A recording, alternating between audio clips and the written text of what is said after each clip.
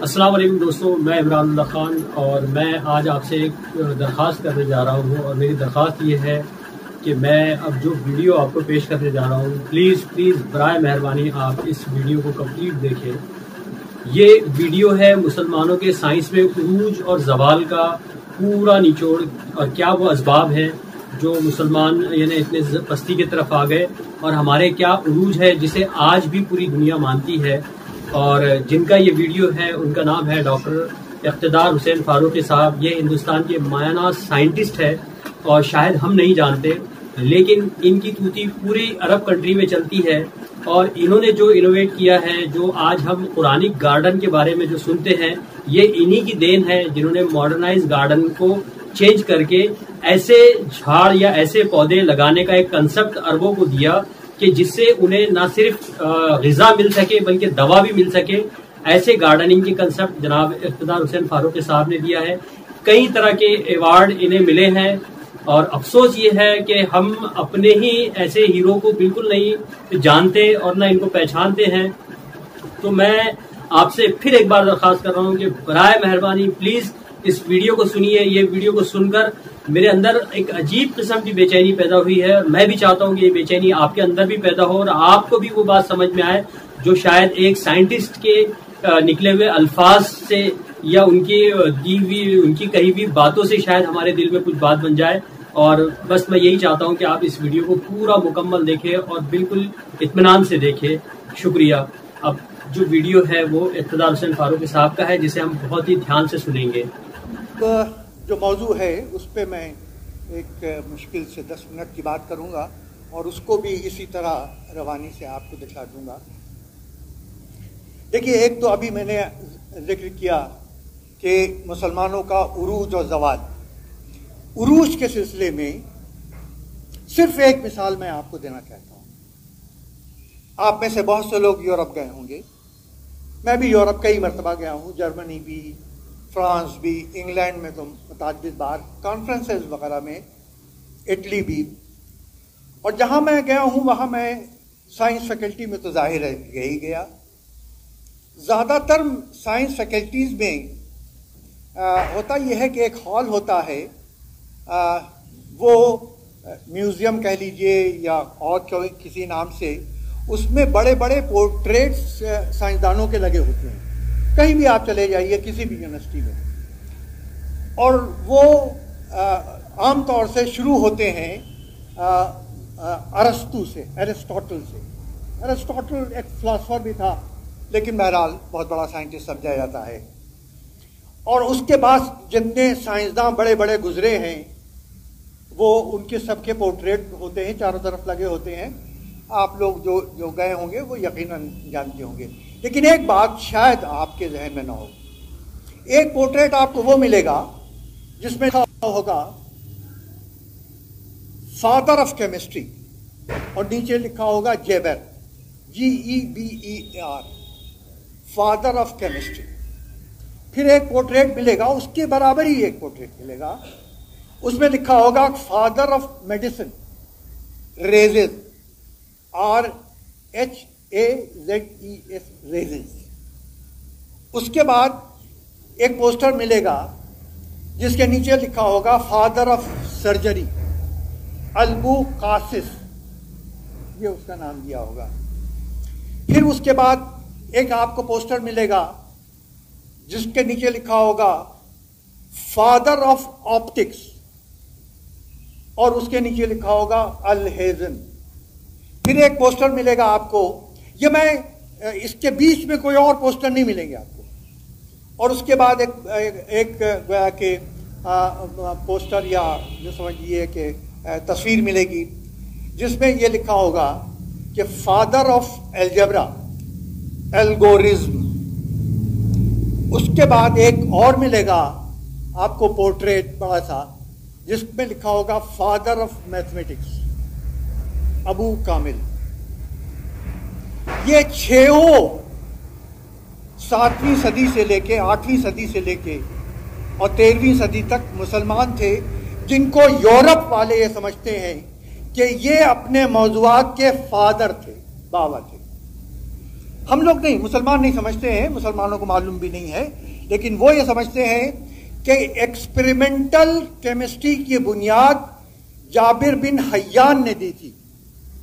और उसको father of chemistry कहा जाता है। Khwarizmi algorithm father of geometry Abul Qasim Zahrawi father of surgery कहा जाता है कि सर्जरी का तस्वुर तक उस वक्त दुनिया में नहीं हो सकता था जिस वक्त उसने सर्जरी शुरू की है। इसी तरह father of optics al Haytham अरबी में है, लोग अल हेशम भी उसको कभी कभी पढ़ते हैं, लेकिन अल हेसम नाम। मैं जो आपसे इस वक्त कहना चाहता हूँ कि वहाँ तारीख व ज़्यादातर पोर्ट्रेट्स दिए गए हैं। सातवीं सदी से लेके और चौदहवीं सदी तक जितने पोर्ट्रेट हैं, वो सिर्फ़ मुसलमानों के हैं। और पंद्रहवीं सदी के बाद दर्जनों पोर्ट्रेट्स हैं, उसमें कोई मुसलमान नहीं। तो ये उरूज और ये जवाल ये उरूज के ज़माने में कोई गैर मुस्लिम नहीं और जवाल के ज़माने में कोई मुसलमान नहीं। यह असल जो है, और और एक चीज़ मैं आपको बता दूँ कि आप ये भी महसूस करेंगे कि कहीं कहीं रॉजर बेकिन का नाम भी वहाँ आता है जेराड का भी नाम आता है इस दौर में सातवीं सदी से ये दोनों यूरोपियन हैं और करतबा इस्लामिक यूनिवर्सिटी के पढ़े हुए हैं, जिन्होंने शोहरत हासिल की। तो ये उरूज और जवाद। आइए एक दूसरी बात करूँ। उरूज के जमाने में सिर्फ़ स्पेन में, इस्लामिक स्पेन में करतबा यूनिवर्सिटी में, उसकी लाइब्रेरी में तीन लाख किताबें थी। तीन लाख। और इसी तरह दूसरी लाइब्रेरी में कहीं तीन और कहीं पाँच और कहीं छह लाख। और ये वो दौर था जो यूरोप का काला, यानी ब्लैक डेज़ गोया के कहलाता था ब्लैक एजेस और वहाँ की जो सबसे बड़ी यूनिवर्सिटी पेरिस की थी उसमें 2000 किताबें थी। अब आप सुनिए कि कहा ही जाता है कि इस वक्त हार्डवर्ड यूनिवर्सिटी में तकरीबन 18 लाख किताबें हैं और किसी भी अरब मुल्क के लाइब्रेरी में दस हज़ार से ज़्यादा किताबें नहीं ये उरूज और जवाल की एक मिसाल है। एक और मिसाल मैं आप, सातवीं सदी से लेकर चौदहवीं सदी तक आप दावा कर सकते हैं किसी शख्स से भी कि कोई भी इन्वेंशन कोई भी डिस्कवरी हिंदुस्तान में नहीं हुई। कोई भी इन्वेंशन कोई भी डिस्कवरी यूरोप में नहीं हुई। साइंस की कोई बड़ी तरक्की यूरोप में नहीं हुई। ये सारी तरक्यात इस्लामी दुनिया में। चाहे वो एग्रीकल्चर हो, चाहे वो एसिड्स बनाना हो एसिटिक एसिड सल्फ्यूरिक एसिड, ये सारे एसिड बनाने हो। जितनी इन्वेंशन और डिस्कवरीज थी वो सिर्फ़ इस्लामी दुनिया में हुई पंद्रहवीं सदी के बाद कोई एक डिस्कवरी इस्लामी दुनिया की रिपोर्टेड नहीं है। एक और सुन लीजिए। पेटेंट्स जो हैं, आप सभी को मालूम होगा कि पेटेंट से ये पता चलता है कि किस मुल्क में कितनी साइंटिफिक रिसर्च हुई है अप्लाइड एप्लीकेशन के हिसाब से। क्योंकि पेटेंट ही के अतबार से इंडस्ट्रीज़ बढ़ती हैं। पेटेंट के अतबार से गोया के बड़े प्रोटेक्शन होते हैं। ये जितनी भी चीज़ें हैं, आपका ये बल्ब है, ये आप मोबाइल है, ये सभी पहले पेटेंट हुई और उसके बाद इनका प्रोटेक्शन हुआ। और ये ज़्यादातर पेटेंट जो हैं लोग अमेरिका में लेते हैं। क्योंकि अमेरिका में अगर आपका पेटेंट रजिस्टर हो गया और उसके बाद वो एक्सेप्ट हो गया तो उसकी अहमियत बहुत होती है।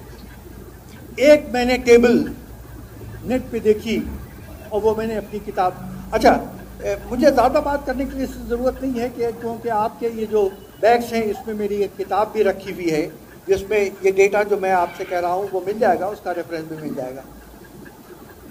उस जी जी, वो यही इसमें ये सारी बातें जो मैं अर्ज़ कर रहा हूँ, ये आपको मिल जाएगा, इसीलिए मैं तफसील से नहीं जा रहा हूँ। चंद बातें बहुत ज़रूरी है जो वो मैं कह रहा हूँ।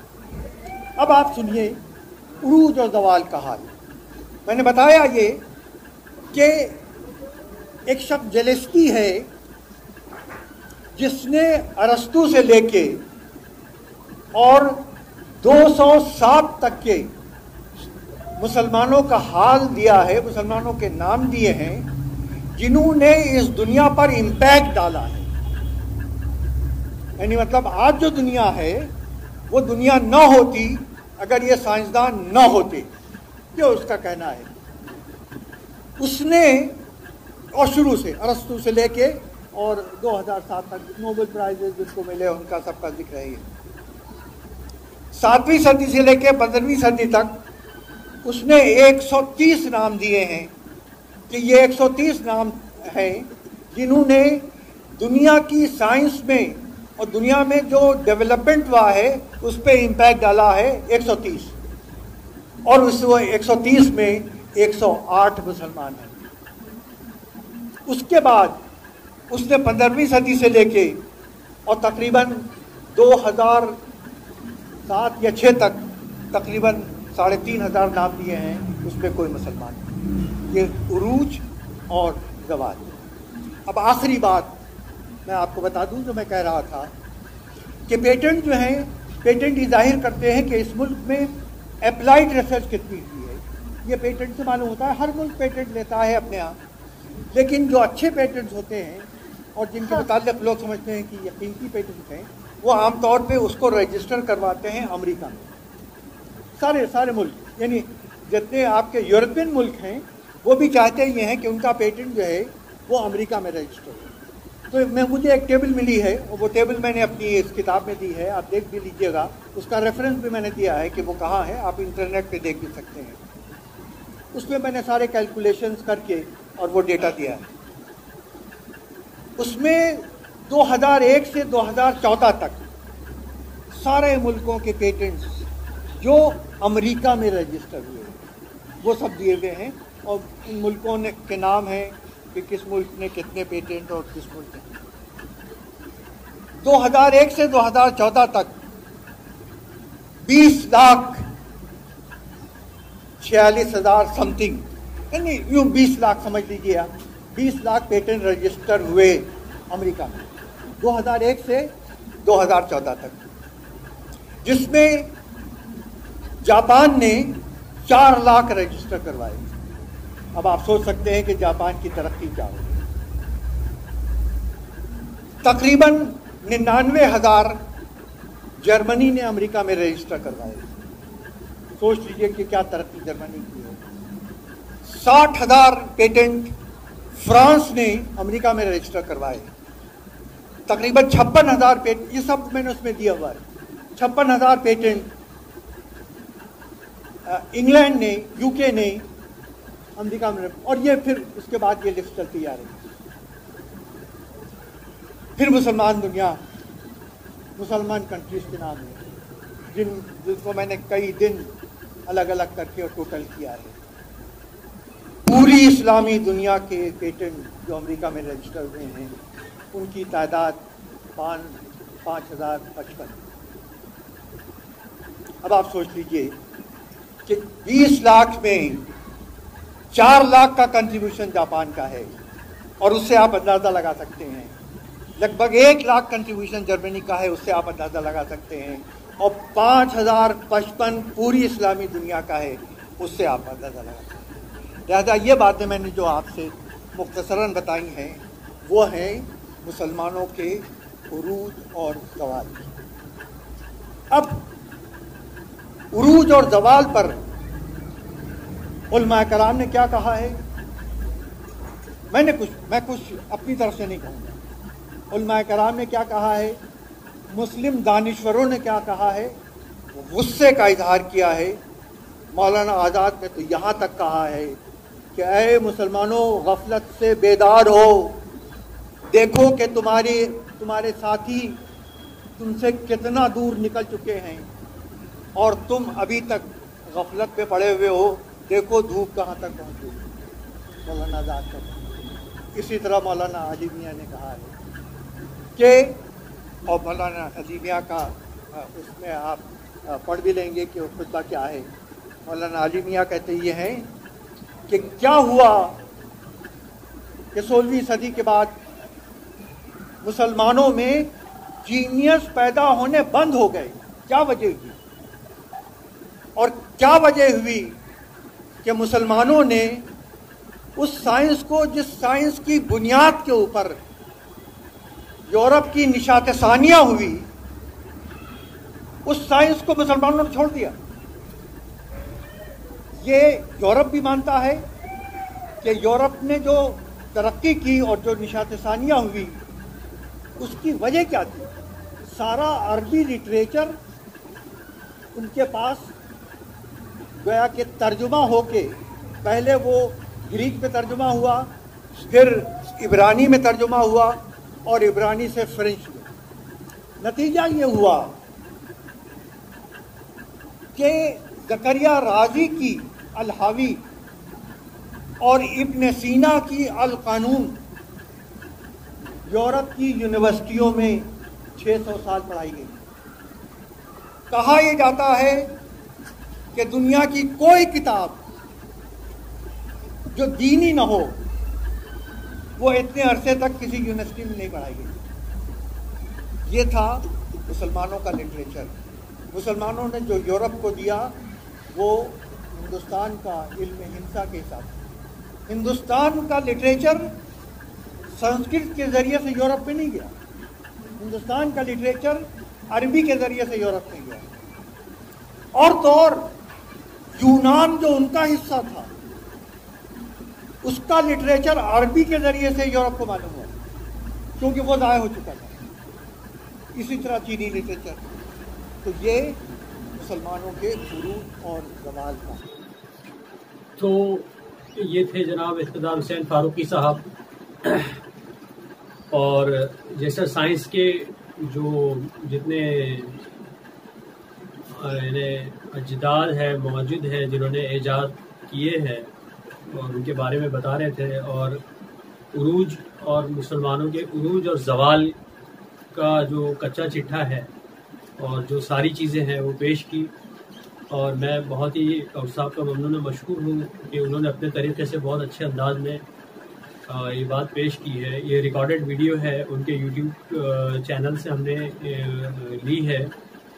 और मैं इस वीडियो को मेरा दिखाने का मकसद यही है कि जो कौम अपने माजी को याद नहीं रखती, अपनी तारीख को नहीं समझती, वो कौम कभी भी उरूज पर फिर से नहीं आ सकती।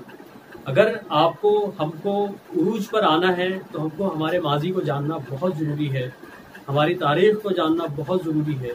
जब तक हम अपनी तारीफ़ को नहीं समझेंगे, अपने माजी को नहीं समझेंगे और हमारे जवाल के इसबाब को नहीं समझेंगे, तब तक हम उरूज की तरफ़ उस रास्ते पर गामजन नहीं हो सकते ये एक ऐसा थ्योरी है या ये फार्मूला है तरक्की पजीर कौम का।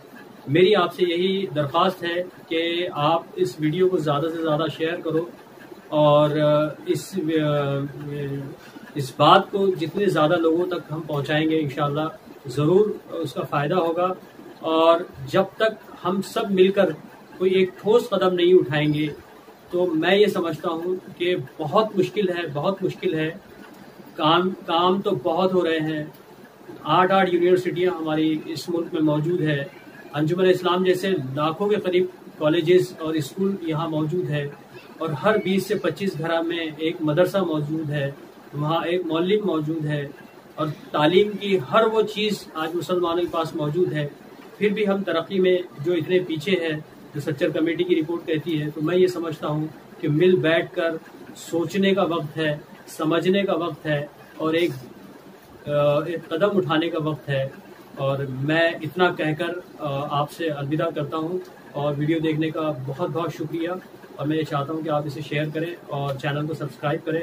इन आगे भी इसी तरह से आपके रूबरू और भी बहुत सारे वीडियो आएँगे और हमारी इस कोशिश को आपने सराहा है। शुक्रिया जजाकल्ला अल्लाह हाफिज़। सब्सक्राइब कीजिए इमरान खान को और बेल आइकन पर प्रेस कीजिए ताकि आपको हमारी लेटेस्ट वीडियो सबसे पहले मिलते रहे।